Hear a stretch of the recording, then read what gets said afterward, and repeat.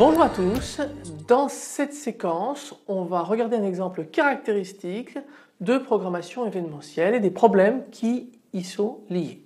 Cet exemple emblématique il concerne les interfaces graphiques qui sont essentiellement basées sur ce principe de réactivité c'est normal parce que on va pas passer son temps à boucler sur je regarde ce qui se passe, je regarde ce qui se passe, je regarde ce qui se passe alors qu'on peut avoir d'autres calculs à effectuer. On va euh, se mettre en attente d'événements qui vont typiquement être là des événements liés à la souris. Donc l'origine de ces interfaces graphiques, eh bien c'est euh, X. Euh, les laboratoires, alors X ça vient de Xerox, euh, qui était, euh, qui était conçu au Park Laboratories, Palo Alto Research Center.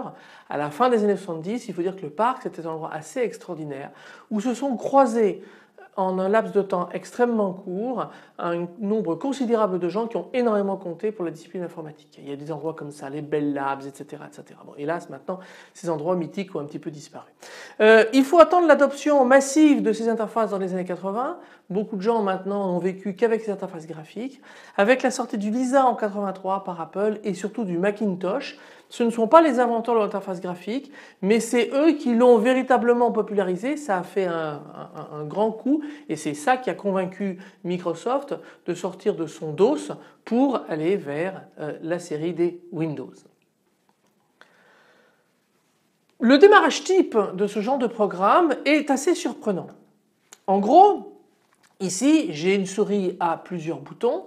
Donc ce qui va m'intéresser, c'est de traiter ici le bouton gauche quand je clique sur le bouton gauche, ça va générer le signal SIGG et le fait que je déplace ma souris, ça va générer le signal SIGDEP.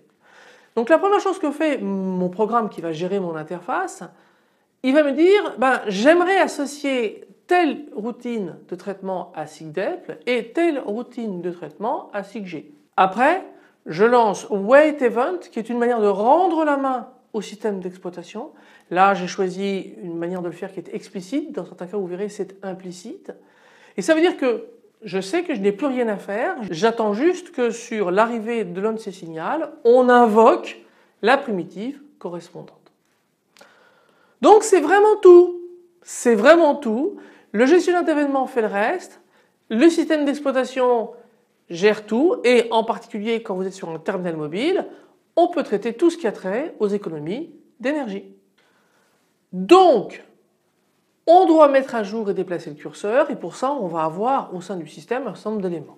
On va avoir deux variables globales, h et v, qui nous donnent la position horizontale et verticale du curseur.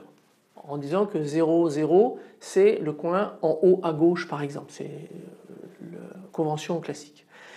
Et on va également avoir deux variables, delta h et delta v, qui vont nous donner la variation de la position depuis le dernier wait event, depuis la dernière fois qu'on a décidé qu'on s'endormait. Et puis la primitive efface curseur, avec une position passée en paramètre, va effacer le curseur là où il est et restaurer ce qu'il y a dessous. Et puis dessine curseur va à l'endroit qu'on passe en paramètre, installer le curseur et sauvegarder ce qu'il y a dessous de manière à ce qu'on puisse le restaurer dans efface curseur.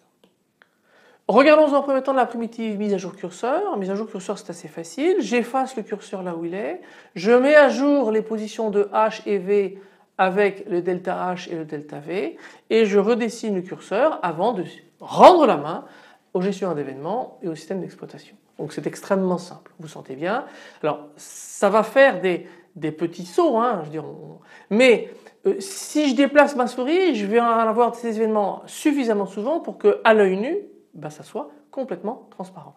Cette exécution de primitive est extrêmement courte, par conséquent, même si mes traitements de fond sont interrompus, ça n'affecte pas considérablement l'exécution de mon programme, en tout cas c'est invisible à l'œil nu.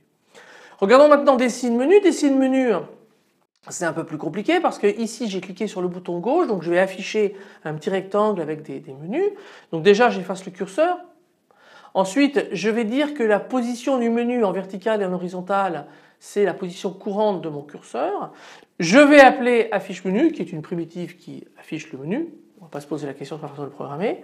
Je vais redessiner le curseur par-dessus.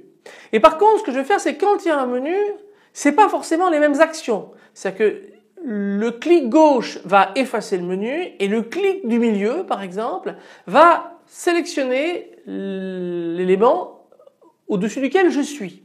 Donc vous voyez que je peux parfaitement changer les routines qui vont être associées à mes événements. Donc ici, SIG-M n'était pas rattrapé, maintenant il va l'être. Et SIG-G renvoyé sur euh, dessine menu et maintenant il est renvoyé sur efface menu. Et je fais mon wait event parce que je n'ai plus rien d'autre à faire. Regardons un petit peu comment ça fonctionne. Donc là j'ai ici mon programme et puis euh, j'ai euh, la zone d'écran sur laquelle se promène mon curseur. Donc là je clique sur le bouton gauche donc ça déclenche l'événement SIGG qui me déroute vers la bonne routine associée qui commence à s'exécuter. Et puis imaginons, je suis très rapide, mais au moment où je fais euh, ce clic, eh ben, je fais un mouvement qui déplace également la souris et l'événement est pris en compte juste au moment où le menu vient de s'afficher.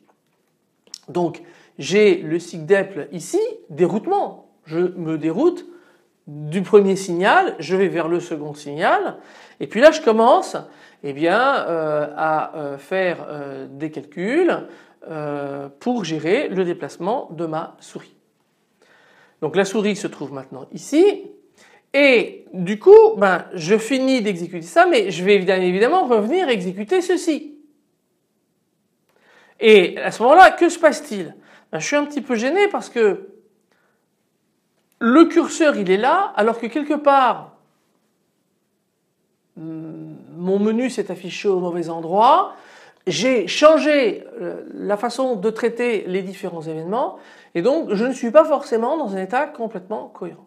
Donc vous voyez, quand je vous disais dans une séquence précédente que le problème de la programmation événementielle, c'est un peu des problèmes de parallélisme, là ici, euh, on est dans une logique dite d'entrelacement, où ben, on n'a pas fini de traiter cet événement-là, qu'il y en a un autre qui arrive. Et donc il faut faire un petit peu attention à ce genre de choses.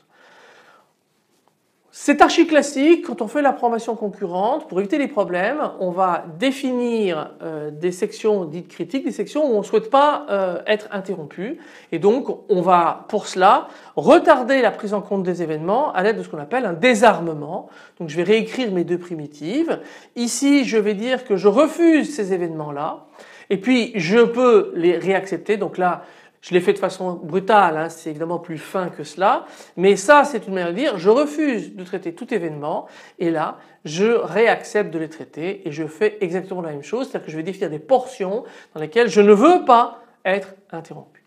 En fait c'est plus fin parce que souvent on a une numérotation des interruptions, elles sont numérotées par priorité croissante et en général ce qu'on fait c'est qu'on désarme celles qui sont moins prioritaires parce qu'il y a celles qui sont plus prioritaires qu'on est obligé d'accepter quand même. Par exemple, s'il y a un reset, il y a un reset. il n'est pas question de ne pas supporter le reset. Le reset, en général, est l'interruption la plus prioritaire. En guise de conclusion, je pourrais dire que ce sont simplement des principes que j'ai présentés. C'est-à-dire que la réalité est plus fine et plus complexe, et du coup plus source de bugs, nos amis arrivent, euh, mais c'est une bonne illustration de la mécanique sous-jacente et des problèmes qu'elle pose. Et rassurez-vous, ce seront les mêmes que vous trouverez quand vous allez faire la programmation mobile. Bien évidemment, ça se passera à un niveau plus élevé, un niveau d'abstraction plus élevé qu'au niveau que je vous ai présenté ici. Mais rigoureusement les mêmes problèmes. Je vous remercie de votre attention. À bientôt.